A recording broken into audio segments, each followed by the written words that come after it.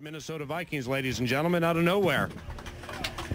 The uh, full pads today, and um, when uh, when you guys uh, when you guys were down there in that goal line situation, that uh, that was pretty physical, wasn't it, Mr. Herrera? Yeah, buddy. Well, you know that's what um that's where we eat. You know that's where the offensive line, defensive line makes our money. You know, we got the receivers for the passing game, but when it comes down to it, you know, third and short, fourth and short.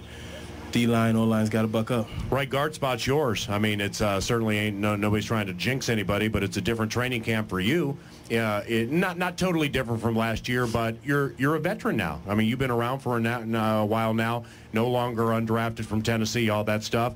Uh, you're you're representing well in the NFL. Right guard spot is yours. Now you can hone your skills. Exactly. You know, um, now I don't really have to worry about well it's this guy on my shoulders, you know, what's going on, what's coaching them thinking. I know it's mine and just got to go out there every play, just like you said, hone my skills, you know, work on my hand placement, bending my knees, stuff like that. What was Anthony Herrera's offseason like? What do you do? Oh, extremely busy. You know, I had surgery at the um, end of the season. Two days after the season was over with, I had surgery. So Was that a shoulder? yeah, Yeah. I was up in um, Eden Prairie rehabbing for the whole off season, and I went back to my house in Mississippi for a month. Oh, nice. Did you get a chance to relax? Not at all. Did you go over to Hattiesburg and Nah, uh, man. try to I've- see what a certain individual's doing? What up? nah, I've got a I've got a um, 17 month daughter and nine year old son. Man, it's never gonna be able to relax. Would you um, would you care to offer up any cat related references to a certain Chicago Bears quarterback like Bobby Wade did, or or, or are you just going to go ahead and let that slide by? Uh, you know, I think all that'll take care of itself the week of.